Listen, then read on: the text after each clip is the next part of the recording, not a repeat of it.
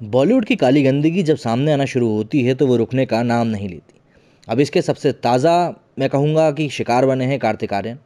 पिछले साल हमने देखा था कि किस तरीके से सुशांत सिंह राजपूत के मामले में भी कई सारी बातें ऐसी निकल कर सामने आई थी, जिनको की लेकर कई सारे कयास लगाए गए थे कि उनको कई सारे बड़े फ़िल्म मेकर्स ने अबैंडन कर दिया था मूवीज़ से निकाल दिया था। कई दूसरे बड़े सितारों ने उनकी मूवीज़ छीन ली थी, जिसके कारण कि वो डिप्रेशन में आ गए थे। अब ये थ्योरी जब सिद्ध हो गई तो उसके बाद कई सारी अटकलें ये भी लगने लगीं कि क्या उनको आत्महत्या के लिए मजबूर किया गया, या फिर उनकी किसी ने सोच समझ कर हत्या करी है। अब ऐसा ही कुछ एक बार फिर से देखने के लिए मिल रहा है, और लोग बात कर रहे हैं कि अब एक बार फिर से सुशांत जैसी हालत किसी एक और एक्टर की होगी। और यहाँ पर उनका नाम है कार्तिक आर्यन। कार्तिक आर्यन के पास एक समय कई सारे बड़े प्रोजेक्ट्स थे, मगर पिछले कुछ समय से उन्हें अपनी कई सारी अपकमिंग प्रोजेक्ट्स से हाथ धोना पड़ा है। पहले उन्हें करण जौहर की फ़िल्म दोस्ताना टू से निकाला गया। उसके बाद ऐसी अफवाहें भी तेज़ हो गई कि एक्टर को आनंद एल राय की एक फ़िल्म से भी हाथ धोना पड़ गया। इस पर अब फ़िल्म मेकर अनुभव सिन्हा ने रिएक्ट किया है। Bollywood actor Kartik Aaryan film industry के राइजिंग सुपरस्टार के तौर पर पहचाने जा रहे हैं। इसकी खास वजह है एक्टर का कूल नेचर और क्रेजी फ़ैन फॉलोइंग। मगर कार्तिक आर्यन इन दिनों एक और वजह से चर्चा में है। उनके पास एक समय कई सारे बड़े प्रोजेक्ट्स थे, मगर पिछले कुछ समय से उन्हें अपने कई सारे अपकमिंग प्रोजेक्ट से हाथ धोना पड़ा है। पहले उन्हें करण जौहर की फ़िल्म दोस्ताना टू से निकाला गया। उसके बाद ऐसी अफवाहें भी तेज़ हो गई कि एक्टर को आनंद एल राय की एक फ़िल्म से भी हाथ धोना पड़ गया। इस पर अब फ़िल्म मेकर अनुभव सिन्हा ने रिएक्ट किया।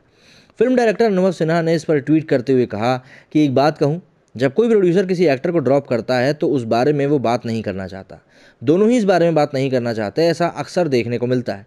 कार्तिक आर्यन के खिलाफ जो कैंपेन चलाया जा रहा है, उसे लेकर मैं चिंतित हूँ। ये बहुत ज़्यादा अनुचित है। मैं कार्तिक आर्यन के शांत स्वभाव की सराहना करता हूँ। बता दूँ कि हाल ही में ऐसी खबरें सामने आई थी, कार्तिक आर्यन को आनंद एल राय की एक फ़िल्म से निकाल दिया गया है।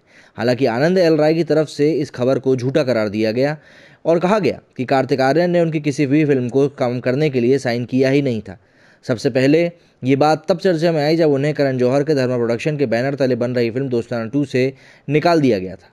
इस पर धर्मा प्रोडक्शन की तरफ़ से ऑफिशियल स्टेटमेंट भी जारी किया गया। इसके अलावा एक अफवाह ऐसी भी उड़ रही है कि उन्हें शाहरुख खान के रेड चिलीज प्रोडक्शन हाउस की एक फ़िल्म से भी निकाला गया है। बता दूँ कि कार्तिक आर्यन के फैंस भी इसे कार्तिक के खिलाफ एक कैंपेन की तरह देख रहे हैं। अनुभव ने भी इसी तर्ज पर अपनी चिंता ज़ाहिर करी, मगर कार्तिक आर्यन की तरफ़ से इस पर कोई प्रतिक्रिया देखने को नहीं मिली है। हालाँकि एक्टर सोशल मीडिया पर एक्टिव है और अपने फैंस को भी अपनी पर्सनल लाइफ की अपडेट देते रहते हैं। साथ ही वर्क फ्रंट की बात करें तो एक्टर के पास भूल भुलैया टू और धमाका जैसी फ़िल्में अभी मौजूद हैं।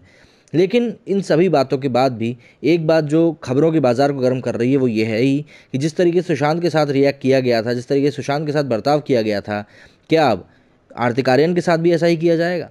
अब इस बात को लेकर उनके फैंस में खासी चिंता है और इस बात को लेकर कई लोगों ने अब बातें भी करना शुरू कर दिया है।